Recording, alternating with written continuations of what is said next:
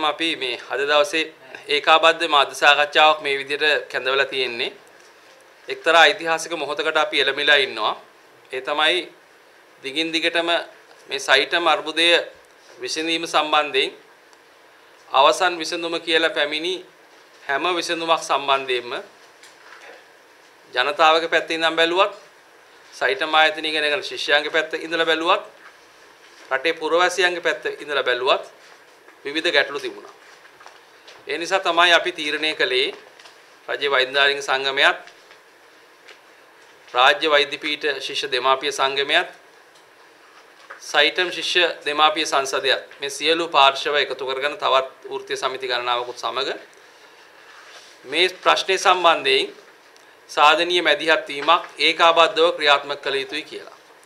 ඒ අනුව තමයි අපි පහුගිය දිනවල අතිගරු ජනාධිපතිතුමා වෙත මේ අපි ඉදිරිපත් කරන යෝජනාවලිය පාදක කරගත්ත සංදේශයක් බාර දුන්නා. මේ දින කිහිපයකට ඉස්සෙල්ලා. එතකොට සයිටම් අර්බුදය ජනතාවාදී අවසන් විසඳුමක් දීලා අවසන් කරන්න ඇත්තටම අවසන් කරන්න ගත යුතු ක්‍රියාමාර්ග පිළිබඳ අපි එහි පැහැදිලි කරලා කිව්වා. එතෙන්දි විශේෂයෙන්ම අපි කිව්වා මේ මොහොතේදී පුද්ගල කණ්ඩායමක් විදිහට මේ ප්‍රශ්නයේදී දැඩි අගතියට පත් වෙලා ඉන්න පාර්ශවය තමයි සයිටම් එකේ ඉගෙන ගත්ත සහ ඉගෙන ගන්න ශිෂ්‍ය පිරිස. එතනින් එහාට ගිහිලා එයාගේ දෙමාපියන්. ඒතොර ඒ ප්‍රශ්නය සම්බන්ධයෙන් සංවේදී වන සාධනීය විසඳුමක් දෙන්නේ නැතුව මේ ප්‍රශ්නේ නිමා කරලීම සඳහා මොන විසඳුම් ගෙනාවත් ඒක රටේ යථාර්ථයක් බවට පත් වෙන්නේ නැහැ කියන කාරණය. අපි දැක්කා මැතිවරණයට කලිනුත් අපි මේක කිව්වා. නමුත් අපි කියපු දෙයට ඒ හඬට ඇහුම්කන් දීමක් පාලකයන් සිද්ධ කළේ නැහැ. අපි විශ්වාස කරන විදිහට පහුගිය පළාත් පාලන මැතිවරණයේදී මේ ලැබුණු මැතිවරණ ප්‍රතිඵලය කෙරෙහි වෛද්‍ය ශිෂ්‍යයන් අවුරුද්දකට ආසන්න කාලයක් පාරේ හිටපු එක මේ දෙමාපියන්ගේ මාරාන්තික උපවාස වෛද්‍යවරුන්ගේ වෘත්තීය සමිති ක්‍රියාමාර්ග ජනතාවගේ ජීවත් වීමේ අයිතිය සම්බන්ධයෙන් මතුවෙච්ච ප්‍රශ්නය රෝහලකට ගිහිල්ලා Tamanට අවශ්‍ය ප්‍රතිකාර කටයුතු ගැනීමේදී විශ්වාසයක් ඇතුව ඒ ප්‍රතිකාර කටයුතු ගැනීම අවම ප්‍රමිතිය සකස් කිරීම සඳහා දිගින් දිගටම බලධාරීන් දැක්වපු නොසලකිල්ල මෙන්න මේ කියන කාරණා ගණනාවක් මේ ප්‍රශ්නය ගැන විතරක් හිතුවොත් පහුගිය මැතිවරණ ප්‍රතිඵලට බලපෑවා. ඒ නිසා අපි රජයේ වෛද්‍යාරික සංගමයේ විදියටත් ඒකාබද්ධවත් දිගින් දිගටම පෙන්ලා දුන්නා. මේක මේ විදියට ගියොත් ඒක ආණ්ඩුවේ ඉරණමටත් එතරම් සුබ නැහැයි කියන කාරණය. අවසානයේදී මැතිවරණ ප්‍රතිඵල ආවට පස්සේ අපි නැවත ජනාධිපතිතුමා ඇතුළු බලධාරීන්ට දැනුම් දුන්නා. මේ ප්‍රශ්නේ සම්බන්ධයෙන් ඔබතුමන්ලගේ අවධානය මීට වඩා වැඩි විය යුතුයි. අඩුම ගානේ දැන්වත් පාඩමක් ඉගෙනගෙන මේ මැතිවරණ ප්‍රතිඵලය ඔස්සේ හෝ යම් පාඩමක් ඉගෙනගෙන මේ ප්‍රශ්නේ නිමා කරලීම සඳහා කටයුතු කරන්න කියලා. ඒ ඔස්සේ තමයි සංදේශය බාර දුන්නේ. එතෙන්දී වැදගත්ම දේ උනේ මේ දෙපැත්තක හිටපු බලවේග එක තැනකට ආපු එක. සයිටම් ශිෂ්‍යයන්ගේ අති බහුතරය, සයිටම් දෙමාපියන්ගෙන් අති බහුතරය ඇතුළුව මේ කණ්ඩායම් සියල්ල එක තැනකට ආවා. ඒතර ඒ වගේ ඒකාග්‍රතාවයෙන් ඉදිරිපත් කරපු හඬකට මේ මැතිවරණ ප්‍රතිඵලات එක්ක සවන් දීම සඳහා ජනාධිපතිතුමා ඇතුළු බලධාරීන් යම් පෙළඹීමක් ඇති වෙච්ච බව පහුගිය දවස් දෙක තුන ඇතුළත වෙච්ච සිදුවීම් වලින් අපිට හොඳටම ඔප්පු වෙලා තියෙනවා. ඒ අනුව තමයි අතිගරු ජනාධිපතිතුමා තීරණය කළේ පහුගියදා පැවති විශේෂ රැස්වීමකදී මේ සයිටම් ආයතනයේ ශිෂ්‍යයන් එයාගේ මූලික සුදුසුකම් පරීක්ෂා කර බැලීමෙන් පසු කොතලාවල ආරක්ෂක පීඨයේ වෛද්‍ය පීඨයට අන්තර්ග්‍රහණය කරන්න එහෙම නැත්නම් අනුයුක්ත කිරීම සඳහා ගත යුතුයි කියලා තීන්දුවක්. ඒ තීන්දුව එතුමා මේ රටේ විධායක ජනාධිපතිවරයා විදියට ඒ වගේම ආරක්ෂක ඇමතිවරයා විදියට ඒ තීන්දුව ඍජුව අරන් තියෙනවා. ඉතින් අපි රජයේ වෛද්‍යාරික සංගමයේ ඉදිරියේ ඊයේ දවස තුල වගේම අද දිනුවේ තුලත් එතුමා ඒ සම්බන්ධයෙන් ගත තීන්දුව සම්බන්ධයෙන් ඒ නිර්භීතභාවය සම්බන්ධයෙන් අපේ ප්‍රසාදය පළ කරනවා. ඒතර අපි ඉදිරිපත් කරපු යෝජනා මාලාව තුළ ඊටාම් පැහැදිලිව විකල්ප ගණනාවක් අපි හඳුනගෙන තිබුණා. නමුත් කවුරු හරි හිතනවා නම් මේ ප්‍රශ්නේ මෙතනින් ඉවරයි කියලා ඒකම එහෙම වෙන්නේ නැහැ. සයිටම් ශිෂ්‍යයන්ගේ පැත්තෙන් ගත්තත්, සයිටම් දෙමාපියන්ගේ පැත්තෙන් ගත්තත්, රටේ පුරවැසියන්ගේ පැත්තෙන් ගත්තත්, රෝගී ජනතාවගේ ජීවිත ගැන ගත්තත් මේ ප්‍රශ්නේ තවත් පියවර කිහිපයක් ඉදිරියට යා යුතුයි සම්පූර්ණ නිමාවක් දැකීමට. එනිසා අපි රජයේ වෛද්‍යාරික සංගමයේ විදිහටත් අද දවසේ මේ මාධ්‍ය සාකච්ඡාව හරහා ඒකාබද්ධව අපේ අදහස් ඉදිරිපත් කිරීම හරහාත් අපි පැහැදිලිවම ඉල්ලන්නේ එන්නේ වැදගත් පියවර කල්ගත කරන්නේ නැතුව. මොකද මේ ප්‍රශ්නේ හොඳටම කල් ගියා වැඩි. ඒ නිසා මේ මේ රටේ ජනතාවගේ ජීවිත වගේම මේ කතා කරන ශිෂ්‍යයන්ගේ ජීවිත සම්බන්ධයෙන්ුත් ඒ අයගේ අනාගතය සම්බන්ධයෙන්ුත් ප්‍රශ්නයක් මෙතන තියෙනවා. ඒ නිසා කල්ගත කරන්නේ නැතුව නිශ්චිත කාල රාමුවක් තුල මේ ප්‍රශ්නේ නිමා කිරීම සඳහා අවශ්‍ය තාක්ෂණික මඟ පෙන්වීම වහාම රජයේ පැත්තෙන් ලබා ගත යුතුයි. එතෙන්දී විය යුතු වැදගත් කාරණා කිහිපයක් තියෙනවා. අපි විශ්වාස කරන විදිහට මේ සයිටම් ආයතනය අහෝසි කරනවා කියලා රජයේ ප්‍රකාශයට පත් කළා නම් මේ විසඳුම සඳහා මේ විසඳුම ජනගත කළා මේ විසඳුම යථාර්ථවාදී විසඳුමක් පත් කිරීම සඳහා ගත යුතු වැදගත්ම පියවරක් තමයි මේ විසඳුමට සමාන්තරව සයිට මහෝසි කිරීමේ නීත්‍ය අනුකූල ගැසට් නිවේදනය වහාම ඉදිරිපත් කිරීමට ජනාධිපතිතුමා කටයුතු කළ යුතුයි. ඒ හරහා තමයි විශ්වාසය ගොඩ läගෙන්නේ මේ විසඳුම යථාර්ථයක් බවට පත් වෙනවායි කියන්නේ. ඒක පළවෙනි පියවර. දෙවෙනි පියවර හරහා අපි යෝජනා කරනවා වෛද්‍ය අධ්‍යාපනයේ අවම ප්‍රමිතිය ඊටාම පැහැදිලිව වෛද්‍ය සභාවේ සම්බන්ධ නිර්ණායක සකස් කළා. ඒ නිර්ණායක ඔස්සේ සකස් වෙච්ච අවම ප්‍රමිතිය ඒව විකෘතියට ලක් කිරීමකින් තොරව පාර්ලිමේන්තු හරහා සම්මත විය යුතුයි. එතෙන්දී සයිටම් සිසුන්ට අගතියක් නොවන ආකාරයේ තීන්දුව తీරන ගැනීමට බලධාරීන් පරිස්සම් විය යුතුයි. මොකද ඒ ශිෂ්‍යයන් 2009 බැඳෙනකොට නොදැන සිටපු අවම ප්‍රමිතියක් 2017 දී ක්‍රියාත්මක කළා 2009 ශිෂ්‍යයන්ට අසාධාරණයක් වෙනවා නම් ඒ සම්බන්ධයෙන් අපිට එකඟ වෙන්න බෑ. ඒ නිසා ඊටාම් පැහැදිලිව ඒ සයිටම් ආයතනේ දැන් මේ දීලා තියෙන විසඳුමත් එක්ක යන ඒ වගේම අවම ප්‍රමිති ආරක්ෂා වෙන තාක්ෂණික තීන්දුවක් රජය විසින් ගැනීම සඳහා අවශ්‍ය මඟ පෙන්වීම ලබා ගත යුතුයි. අතිගරු ජනාධිපතිතුමා විසින් ගන්නා තීරණය මේ ගත්ත තීරණය ප්‍රායෝගිකව ක්‍රියාත්මක කිරීම සඳහා අපි විශ්වාස කරනවා දේශපාලඥයන්ගේ සහභාගීත්වයෙන් තොර විද්වත් තාක්ෂණික කමිටුවක් පත් කළ යුතුයි කියලා. එතෙන්දී වෛද්‍ය සභාව විශ්වවිද්‍යාල ප්‍රතිපාදන කමිෂන් සභාවේ ඒ සම්බන්ධයෙන් විද්වත් මතයක් නියෝජනය කරන්න පුළුවන් නිලධාරීන් ඒ වගේම පීඨාධිපතිවරු වෛද්‍යවරු ආචාර්යවරු මේ හැමෝගෙම දායකත්වය ලබා ගන්න පුළුවන්. ඒ අරගෙන අපි කියනවා මේක තවත් කල් යවන්න නැතුව ඒ තාක්ෂණික මඟ පෙන්වීම ඔස්සේ කොතරම් කාලයක් මේ අවුරුදු වල ඉන්න අයව මේ නිශ්චිත එක් එක් අවුරුදු වල ඉන්න අයව තවදුරටත් වැඩිදුර පුහුණු කිරීමක් අවශ්‍යද? ඒ පුහුණු කිරීම අවශ්‍ය නම් කොතරම් කාලයක්ද? පුහුණු කළ යුතු විෂයන් මොනවාද?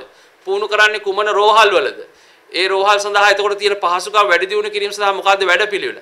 ඒ සියල්ල හරහා අවසානයේදී කොතලාවල ආරක්ෂක පීඨයේ උපාධිය නම් දෙන්නේ. ඒ උපාධිය සම්පූර්ණ කිරීමට සඳහා අවශ්‍ය කරන විභාග මොනවාද? ඒ සියල්ල ඊටාම කඩිනමින් ප්‍රකාශයටපත් කළ යුතුයි. ඒ හරහා තමයි යම් අවිනිශ්චිතභාවයක් තාමත් ඉතුරු වෙලා තියෙනවා නම් ඒක අහවර කරන්න එහෙම නැත්නම් හමාර කරන්න පුළුවන් වෙන්නේ. ඒ වගේම ඊටාම වැදගත් වෙනවා මෙන්න මේ කියන රජයේ ගත්ත ප්‍රතිපත්තිමේ තීන්දුව ගරු නීතිපතිතුමා හරහා ශ්‍රේෂ්ඨාධිකරණයට දැනුම් දෙන එක. එතනින් එහාට ගිහිල්ලා අපි මේ කියන තාක්ෂණික කමිටුව හරහා ගන්න තීරණත් වහාම ශ්‍රේෂ්ඨාධිකරණ නඩු විභාගයේ සඳහා ඉදිරිපත් විය යුතුයි. ඒ සඳහා ජනාධිපතිතුමා මැදිහත් විය යුතුයි. නීතිපතිතුමා හරහා නීතිපතිතුමාට උපදෙස් ලබා දීලා නීතිපතිතුමා හරහා අදාළ සියලු නියෝගයන් අදාළ නිර්දේශ ශ්‍රේෂ්ඨාධිකරණයේ වෙත ඉදිරිපත් කළ යුතුයි. එහෙම වුණොත් තමයි මේකට නීත්‍ය අනුකූල භාවයක් ලැබෙන්නේ. ඒ වගේම අපි එදත් කියපු විදිහට අදත් යෝජනා කරනවා මේ සයිටම් ආයතනයේ භෞතික සම්පත් තියෙනවා නම් ගොඩ නැගිලි තියෙනවා නම් ඒවට මොකද කරන්න කියන එකට හොඳම උත්තරේ දුන්නා සයිටම් ආයතනයේ අයිතිකාර නෙවිල් ප්‍රනාන්දු මහත්මයා. එතුමාම කියපු විදිහට එතුමා ලෑස්ති මේක පිනට දෙන්නත් පුණ්‍ය ආයතනයකට පින් අතේ වැඩකට දෙන්නත් ඒ නිසා අපි විශ්වාස කරනවා එතුමා කිසිසේත්ම පැකිලෙන එකක් නැහැ අකමැති වෙන එකක් නැහැ ඉදිරියේදී රජය යෝජනා කරනවා නම් මොරටු විශ්වවිද්‍යාලයේ වෛද්‍ය පීඨයක් ආරම්භ කරන්න දැන්ටමත් ඒ සඳහා යෝජනා ඇවිල්ලා තියෙනවා ඒ සඳහා මේ ගොඩනැගිලි පාවිච්චි කරන්න නෙවිල් ප්‍රනාන්දු මහත්තයා කිසිසේත්ම අකමැති වෙන්නේ නැහැ. ඒතොර ඒක සලකලා බලන්න පුළුවන් මේ සියල්ල හරහා අවසානයේදී සම්පූර්ණ ප්‍රශ්නෙට සාධාරණ විසඳුමක් හැමෝටම පිළිගන්න විදිහට ලබා ගන්න පුළුවන්. ඒ නිසා අපි පහුගිය කාලය තුල දිගින් දිගටම කියපු විදිහටම මේ කරුණුත් සැලකිල්ලට අරගෙන මේ ප්‍රශ්නේ නිමා කරලීම සඳහා ජනාධිපතිතුමා මේ මොහොතේදී අරන් තියෙන තීරණය තවත් ඉස්සරහට ගෙනිහිල්ලා ක්‍රියාත්මක කිරීම සඳහා වැඩපිළිවෙලක් සකස් කළ යුතුයි. අපි විශ්වාස කරනවා පහුගිය ජනාධිපතිතුමා මේ සම්බන්ධයෙන් මැදිහත් වෙන්න හදපු හැම අවස්ථාවකම අගමැතිතුමා මේ සම්බන්ධයෙන් සාධනීය මැදිහත් වීමක් කරන්න හැම හදපු හැම අවස්ථාවෙදිම මේ ප්‍රශ්නයට අකුල් හෙලපු මේ ප්‍රශ්නයේ සයිට මුදලාලිට අවශ්‍ය විදියට විසඳන්න උත්සාහ කරපු ඇමතිවරු අඩුම ගානේ දැන්වත් කටවහගෙන ඉඳී කියලා. උදව් කරන්න ඕනේ කටවහගෙන ඉඳී කියලා. ඒ හරහා ජනාධිපතිතුමාට මේ ප්‍රශ්නේ විසඳන්න සම්පූර්ණ ශක්තිය දෙයි කියලා. එහෙම නැතුව දැන් මේ ගත්ත තීරණය වෙනස් කරන්න ඒ හිටපු ඇමතිවරු එදා ඒ හිටපු ස්ථාවරවල ඉඳමින්ම යටි කූට්ටු වැඩ කරලා උගුල් අටවන්න නැතුව ජනාධිපතිතුමාගේ මතවාදී වෙනස් කරන්න උත්සාහ කරන්නේ නැතුව මේ වැඩපිළිවෙල ඉදිරියට ගෙන යාම සඳහා ජනාධිපතිතුමාට ඉඩ දීලා බලා සිටීම පමණක් මේ සටන කරන උදව්වක් ජනතාවට කරන උදව්වක් කියලා අපි කරුණාවෙන් ඒ ඇමතිවරුන්ට මතක් කරනවා. ඒ නිසා අපි එතන වැඩිදුර කතා කරන්න බලාපොරොත්තු වෙන්නේ ජනාධිපතිතුමාගෙන් ඉල්ලනවා මේ මොන මතවාදයට යට වෙන්නේ නැතුව මේ දීලා තියෙන විසඳුම යථාර්ථයක් බවට පත් කළා අනිකුත් විකල්පයන්ද සැලකිල්ලට අරගෙන අවසානයේදී ඇත්ත විසඳුම හැමෝටම පිළිගන්න විදිහට ලබා දීම සඳහා අවශ්‍ය කටයුතු කරනවා ඇති. ශිෂ්‍යයන්ගේ පැත්තෙන් යම් ප්‍රශ්නයක් මතුවෙලා තිබුණා ඒ තමයි කොතලාවල ආරක්ෂක පීඨයට පවරා ගැනීමත් සමගම ඒ අයට හමුදා පුහුණුවකට ලක් වෙන්න අවස්ථාව ලක් වේද කියන එක. මම හිතන්නේ ඒක තමයි අපි කිව්වේ මේ මේ වගේ පොඩි පොඩි කාරණා නෙමේ මේ සියල්ල සම්බන්ධයෙන් සලකලා බලන්න. එතකොට දැන් ඇත්තටම කොතලාවල ආරක්ෂක පීඨයේ තියෙන ව්‍යුහය මොකද්ද? ඒක මොන පනතකින්ද පාර්ලිමේන්තුවේ ස්ථාපිත වුණේ? එතකොට ඒ ආයතනයට බදගත්තට පස්සේ මේ දරුවන්ට එතෙන්දි ලබා දෙන පුහුණුවද මේ සියල්ල අර කමිටුව තුල තමයි තීරණය විය යුත්තේ. එතෙන්ද ඊටාම් පැහැදිලිව අපි විශ්වාස කරන්නේ නැහැ. මේ වෛද්‍යවරු විදිහට මේ අය මේ මේ සයිටම් එකට බැඳුනේ හමුදාවට බැඳෙන්න හිතාගෙන නෙමෙයිනේ. ඒ නිසා ඒ ඒ අයගේ අරමුණු ඉෂ්ට වෙන විසඳුමක් තමයි අවසානයේදී ලැබිය යුත්තේ. ඒ නිසා මේ ප්‍රශ්නේ තවත් සංකීර්ණ කළා මේ අයට හමුදා පුහුණුවක් දෙන්න කවුරු හරි උත්සාහ කරනවා නම් මම හිතන්නේ ඒක විහිළුවක් වෙයි. ඉතින් ඒ හින්දා මේ වගේ ප්‍රශ්න නෙමෙයි ඇත්තටම ඊට වඩා තාක්ෂණික කාරණා සම්බන්ධයෙන් අපි මේ මොහොතේ කතා කළ යුතුයි කියන එක තමයි මම හිතන්නේ. ඒ නිසා ඒ ඔව් ඒ ඒ නිසා ඒ තියෙන ව්‍යුහයන් සලකලා බලලා අවශ්‍ය තීන්දුව తీරන ගන්න පුළුවන්. ඒ නිසා මේ වගේ අර සරල කාරණා වලට එහා ගිහිල්ලා දේවල් අපිට කතා කරන්න ඉතුරු වෙලා තියෙනවා කියන එක මතක් කරනවා. ඒ වගේම අර කියපු විදිහට අර අපේ වෛද්‍ය ශිෂ්‍යයන්ට වෙලා තියෙන අසාධාරණ ගැන අපි දිගටම කිව්වා. රජ්‍ය වෛද්‍යානික සංගමයේ විදිහටත් මම හිතනවා අපි මෙතන මේ කාර්යාලය අසලදී වෛද්‍ය ශිෂ්‍ය නායකයෙක්ව පැහැර ගැනීමට ලක් වෙන්න උත්සාහ ගත්තා. ඒ අවස්ථාවේදී අපිට සිද්ධ වුණා රට පුරා ක්‍රියාත්මක වෙන වැඩ වර්ජනයක් ප්‍රකාශයටපත් කරන්න මේ සිද්ධියට එරෙහිව. ඉතින් ඒ නිසා ඊටාම් පැහැදිලිව මේ සටනේදී ඒ හිටපු සියලුම බලවේග විශේෂයෙන්ම ශිෂ්‍යයන් ඒ අය එක් අරමුණක් වෙනුවෙන් තමයි පෙළ ගැහිලා හිටියේ. ඒ තමයි සයිට මහෝසි කරන්න කියලා. නමුත් ඒ සටන ගෙනියනකොට ශිෂ්‍යයන්ගේ හඬට පාලකයෝ සමන් දුන්නේ නැහැ. වෛද්‍යවරුන්ගේ හඬට පාලකයෝ සමන් දුන්නේ නැහැ. නමුත් ඒ පාලකයන්ට අද සිද්ධ වෙලා තියෙනවා එදා ඒ ශිෂ්‍යයෝ කියපු දෙයට වෛද්‍යවරු කියපු දෙයට එකඟ වෙන්න. ඒකෙන් ඔප්පු වෙලා තියෙනවා ඒ ශිෂ්‍යයන්ගේ සටන සාධාරණයි කියන එක. ඒ නිසා ඒ සාධාරණ සටනක් කියලා ආණ්ඩුවක් පිළිගන්න සටනක් වෙනුවෙන් කැපවෙච්ච ශිෂ්‍යෝ දඩයන් කරමින් දිගටම යනවා නම් අපි එදත් කියපු විදිහට මහපොළ ශිෂ්‍යාධාරයේ ඊටාම අත්නෝමතික විදිහට මේ විදිහට කප්පාදු කරලා ඉදිරියට යන්න උත්සාහ කරනවා නම් ඒකට අපි ඉඩ දෙන්නේ නැහැයි කියන බරපතල පණිවිඩය සියලු දෙනාත් එක්ක ඒකාබද්ධව අපි දෙන්න ලෑස්ති.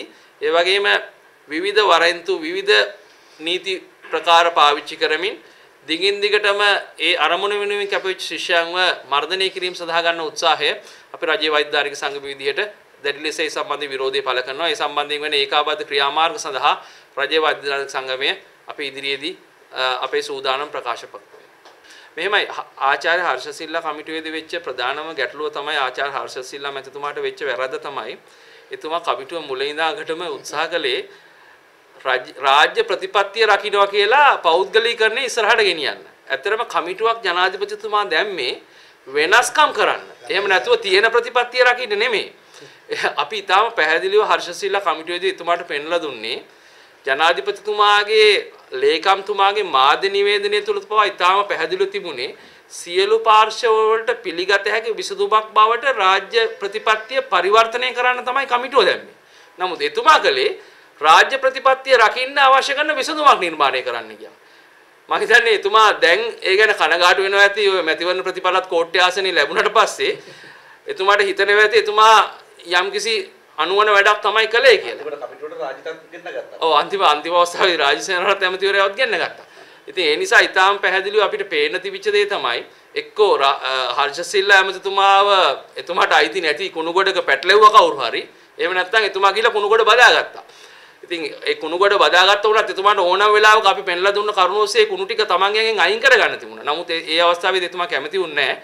ඉතින් ඒක මං හිතන්නේ එතුමාට දැන්වත් තේරෙනවා ඇති. මොකද ජනාධිපතිතුමා මේ වෙනකොට අර කුණු ටික අයින් කරගෙන තියෙනවා. තමන්ගේ නෙමෙයි මේ කුණු අනුන්ගේ කුණු ටික මෙච්චර දවසක් තිබුණේ. ඒ කුණු ටික අයින් කරගෙන තියෙනවා. ඉතින් අයින් කරගැනීමේ උත්සාහය මේ ඈත් පටන් ගත්තොත් මං හිතන්නේ මේ ඒක හොඳ සුබවාදී දිශානතියකට රට ගමන් කිරීමක් වෙයි.